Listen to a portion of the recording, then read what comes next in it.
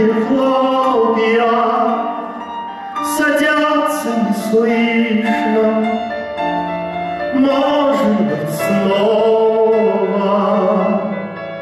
Цветет наша вишня